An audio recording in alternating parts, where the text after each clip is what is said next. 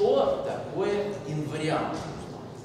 Какой-то объект, который вы строите по узлу и который не меняется при вот этих вот преобразованиях. Омега-динамика памяти. Если вы сумели построить такой объект, и если для некоторых двух узлов построенные по ним объекты такие разные, то вы получаете доказательство того, что эти узлы разные. Э, дело в том, что когда вам дают одну веревку запутанную и другую, то, конечно, иногда удается увидеть, что они одинаковые. Но если вы это не сумели увидеть, дальше совершенно непонятно, вы не сумели это увидеть, потому что плохо искали способ, может быть, надо было как-то по-другому, хитрее, или же потому что его просто на самом деле нет. Э, ребят, я не буду сейчас э, вырисовывать э, таблицу узлов, хотя она сейчас довольно большого количества пересечений известна. То есть там количество изученных узлов измеряется миллионами. Вот это важно понимать. В XIX веке, когда эта наука возникла, было тяжело разобраться с э, узлами с десятью пересечениями.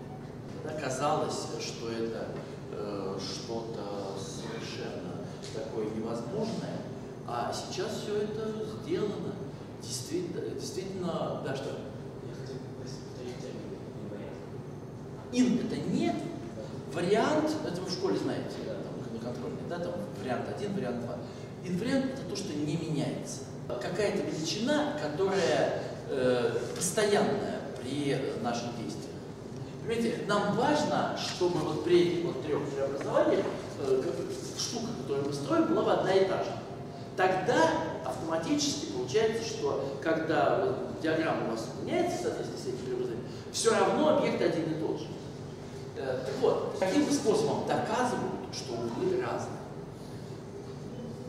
Высчитывают э, один вариант. Если получились э, значения разные, значит узлы разные. Если одинаковые, значит надо высчитывать другой, и так далее, и так далее, и так далее. Полной системы инвариантов э, на свете пока для узлов нет. Э, то есть есть предположение, что инварианты Васильева на самом деле являются полной системой инвариантов. Но это не доказано, э, поэтому это всего лишь гипотеза. Да? А вот то, что я сегодня вам буду рассказывать, это два инварианта.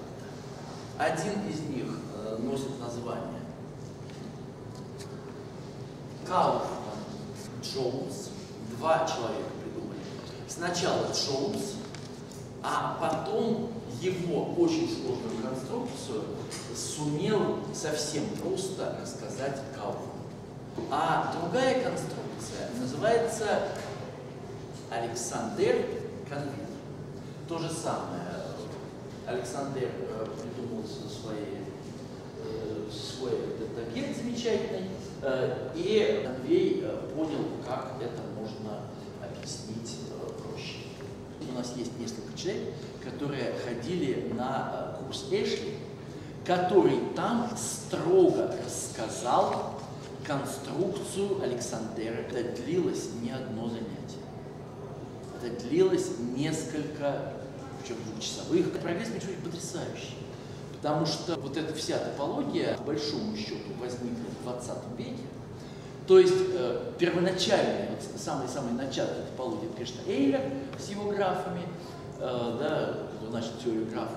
Э, про узлы впервые начал думать Гаусс, Дальше, в XIX э, веке, вот, ну, возникала она э, таким медленным очень образом, в 20 веке вдруг под названием э, алгебраическая топология, э, вся наука топология стала намного-намного мощнее.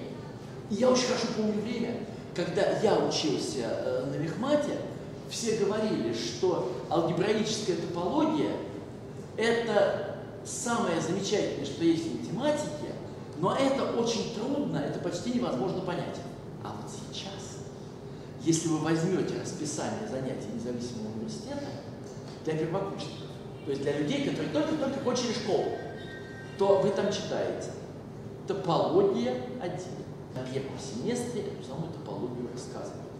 Ребята, постепенно трудами многих математиков построения, которые были страшно трудные, постепенно становятся все проще, проще.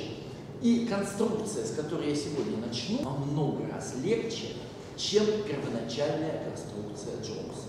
Хотя она дает ровно тот самый вариант Джонса.